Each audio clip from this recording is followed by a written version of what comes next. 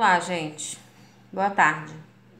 Eu tô vindo agora com uma sequência, tá? Porque os vídeos ainda do crochê não ficaram prontos, então eu tenho pedidos de sabão caseiro azul concentrado, tá? Então eu vou fazer uma, uma sequência de sabão em, barra, sem soda, é, amaciante, sabão líquido, tudo azul, tá? Então eu vou usar uma barra de sabão azul, Eu comprei até o mais baratinho, para quem não tem.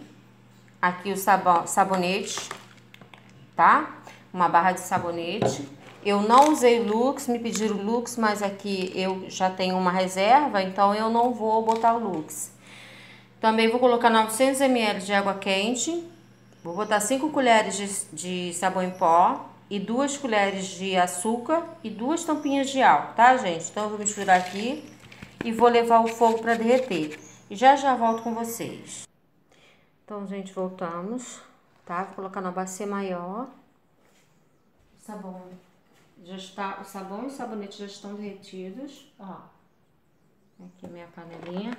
Tem alguns pedacinhos, mas ele vai se dissolver. Não tem importância, porque a gente vai fazer barrinha e depois ele vai ser dissolvido, tá? Vocês sempre vão ver agora minha panelinha. Perdi o cabinho dela, mas ela ainda funciona.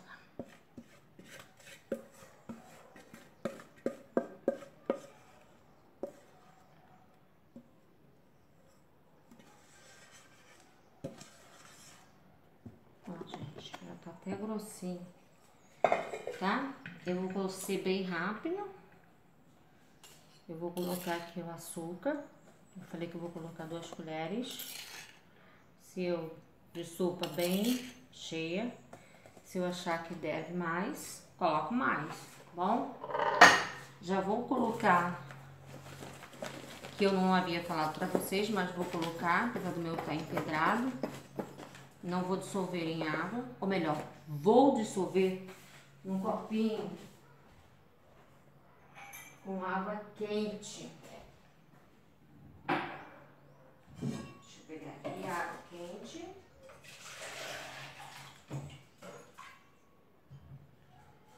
Bem pouquinho água.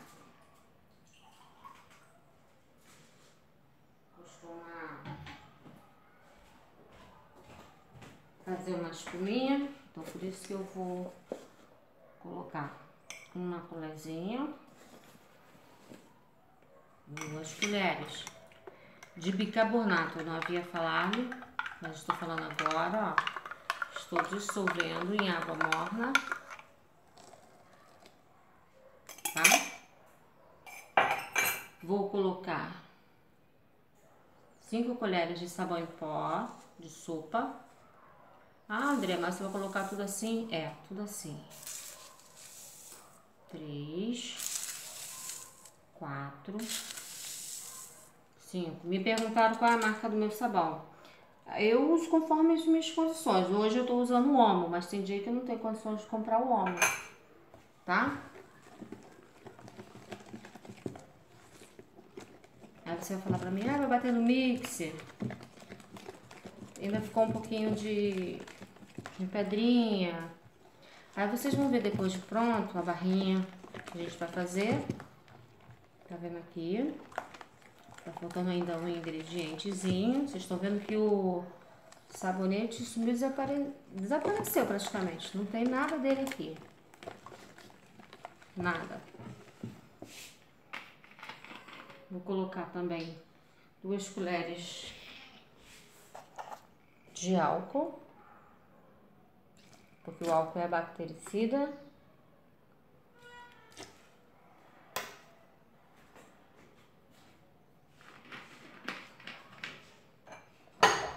Falando nisso, gente, aqui quando começa o verão, enxame de barata. Não sei se vocês lembram que eu fiz para matar insetos, matar formigas, que bota naftalina com álcool. Uh, tem sido aqui depois de Deus a salvação, porque como tem aparecido barata, joga aquilo em cima, ela fica durinha. Os vizinhos se assustam com o meu grito, mas graças a Deus tem dado certo. Então agora, gente, nosso sabão foi super rápido. Ó, viu? Eu falei que as bolotinhas iam saindo com o tempo. A gente mexendo. Então vamos lá só. Eu vou deixar na, na descrição, tá? Só, eu só não tinha falado ainda sobre bicarbonato de sódio, tá? Então, aqui, a partir dessa barra, nós vamos fazer uma sequência de sabão azul, ok? Eu tenho duas, três formas, eu não sei em qual que eu coloco. Confesso para vocês que eu tô meio em dúvida. Eu tenho essa aqui, menorzinha. Ah, eu falei que não tava aparecendo, mas tá aparecendo aqui, né? O sabãozinho. Essa aqui. Eu vou colocar nessa, mas eu não queria que ficasse baixo. Se eu colocar nessa, eu tenho medo de não dar. Nessa aqui, ó, que eu fiz de papelão. Tá vendo? Fiz uma de papelão. Tá nem dando pra vocês verem, mas eu vou levantar, ó. E tem uma outra maior ainda de papelão. Eu vou tentar nessa de papelão. Se depois vocês virem na outra, é porque eu transferi. Tá certo assim? Não é porque eu fiz outra coisa não, tá bom? Não é porque eu não botei o mesmo sabão. Então, nós vamos transportar para cá, para essa caixinha, ok? Ela tá coberta com plástico. Pra gente tentar fazer uma barrinha um pouquinho mais alta.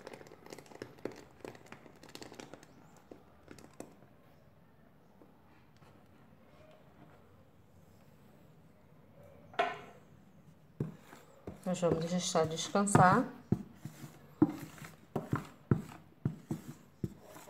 Ainda são 6h20, acredito que lá para as 9 horas ela já esteja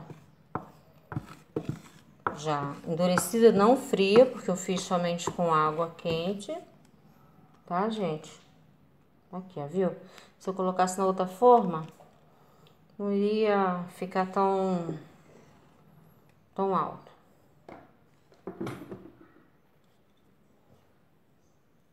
Eu vou fazer uma sequência agora de sabão azul. E espero que vocês gostem. Se vocês estão aí assistindo agora, por favor, dê um like se vocês gostaram. Deixe seu comentário.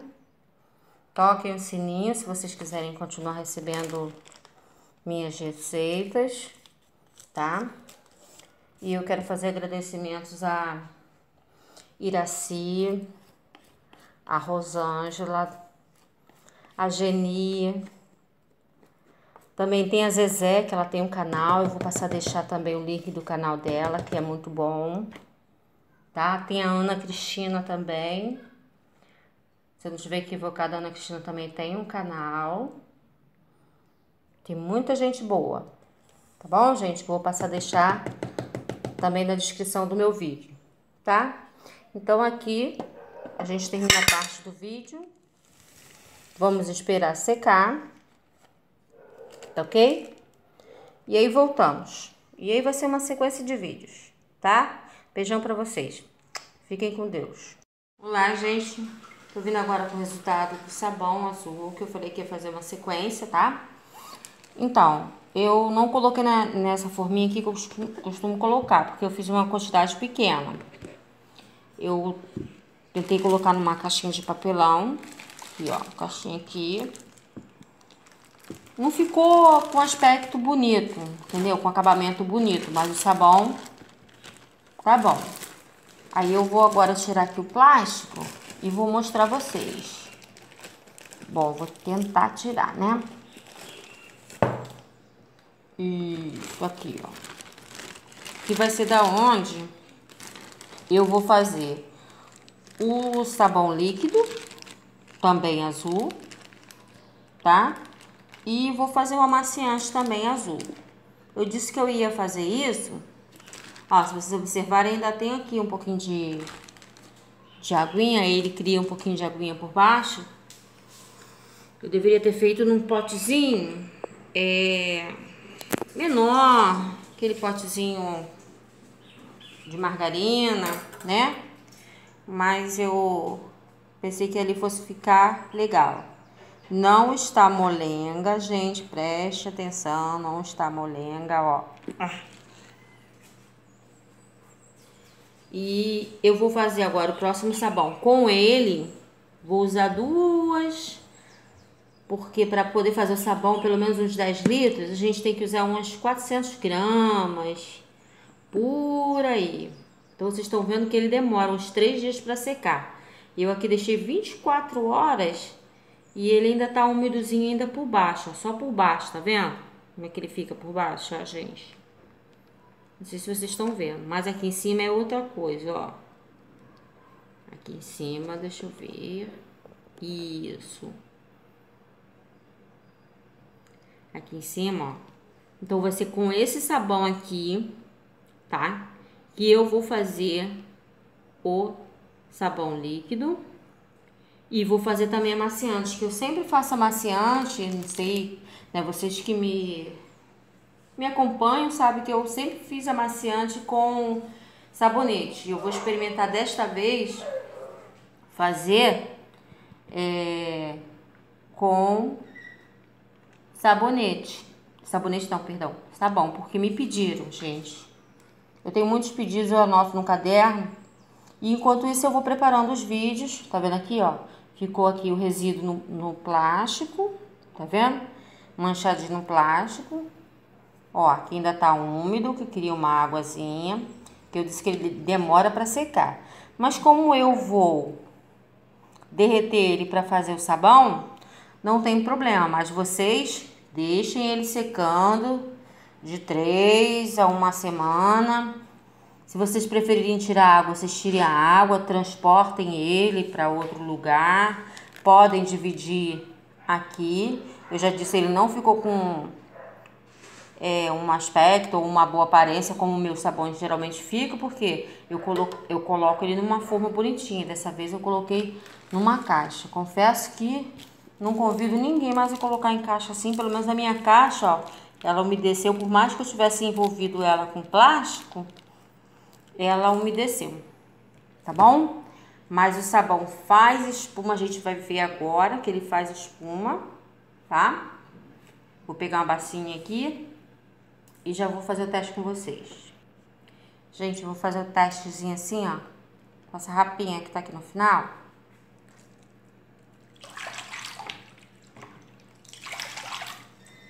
Só para eu não estragar o meu sabão, que eu ainda vou botar ele na geladeira para ele endurecer.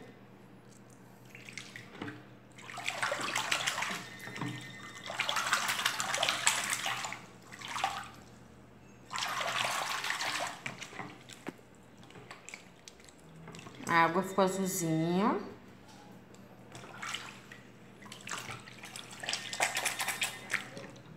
Olha, eu já ia esquecendo de mostrar vocês, né? Já ia então, aqui, gente, ó. A água ficou azul. Tem um paninho aqui que eu uso pra limpar aqui minha mesinha quando eu... Então, é só a gente... Tá vendo? E deixar de molho. Eu não coloquei lauril. Que foi tudo bem simples. Eu usei uma barra é, se for comparada a outras, é um pouco inferior, tá? Então tem espuma, vocês estão vendo. Então, tá aqui o meu paninho, ó. É paninho só de limpeza, então ele não é clarinho. É que eu limpo a mesa depois que eu faço o meu, meu trabalho aqui, tá? Então, ó. Não ficou sujo. Tá vendo? Branco ele não ficou, porque para ficar branco eu teria que botar, né? Mas sujo também ele não ficou, é uma coisinha velha. Então, agora desse sabão aqui, gente, tá? Vocês estão vendo que o aspecto dele não ficou bom. Vou explicar de novo porque foi colocado nessa caixa aqui. Então, se tiver que colocar, é preferível até que ponha num, num potinho de margarina.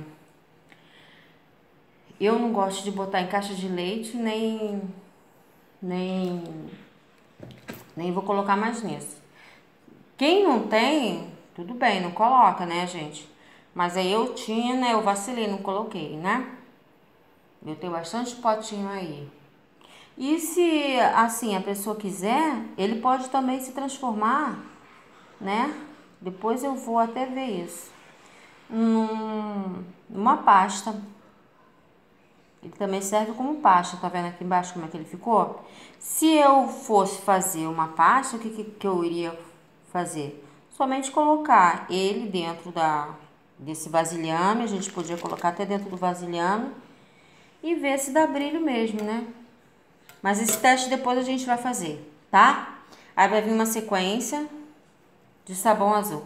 Que eu quase não faço sequência, sempre quero fazer com sabão de coco, tá? Mas o sabão é bom, vocês viram aqui, ó, espuminha. Vou mostrar vocês de novo. Fez espuma, a água tá azulzinha, tá? Então, tudo direitinho, não tem nada estragado. Ficou assim, um aspecto, não ficou com aquela coisa bonita que meus sabões sempre ficam bonitinhos, né? Só os que dão errado mesmo, porque eu não sou perfeita. Então, gente, a gente vai terminar agora, para esse vídeo não durar muito. E vou logo em seguida gravar o outro vídeo já, para vocês poderem fazer um sabão. E vou ver se repito isso aqui, sendo que eu vou repetir com uma quantidade maior e colocando nessa, nesse vasilhame para vocês verem como é que ele fica bonitinho.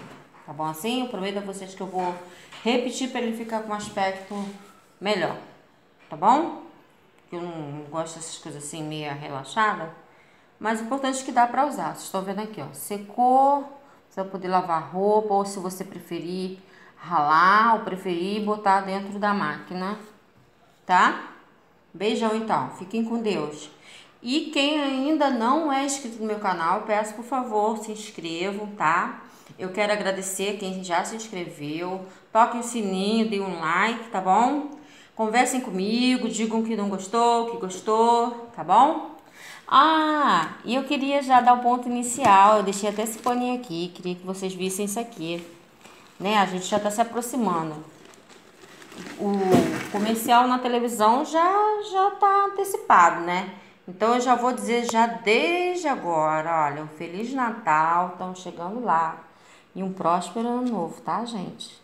Sempre agora eu vou deixar esse paninho aqui para vocês poderem ver isso, tá bom? Eu amo o Natal, amo o nascimento de Jesus, tá bom? Fiquem com Deus. Amanhã só não começa a gravar. Caraca. Olha, gente, eu queria mostrar, eu não ia mostrar não, mas eu vou mostrar. Vocês estão vendo aqui um pedacinho daquele sabão que eu falei que ficou feio pra caramba? Aí eu vim agora pra enxaguar os panos que eu coloquei nele, olha. Ele tirou a sujeira. Ele não tá de total feio não, tá? Aqui, ó, ele limpa, tá? Eu já havia feito um testezinho nele, tá? Então, só pra mostrar vocês, só pra poder confirmar o que eu falei. Não adianta eu mostrar só na bacia. Aí eu botei aqui, que eu sempre coloco, ó, ficou meio cintilante, vocês estão vendo? E aqui eu coloquei bastante quantidade. Aquela rapinha de baixo. Sabe o que, que eu coloquei aqui? Eu coloquei até a águazinha que eu tirei, tá? Então, um beijo bem grandão.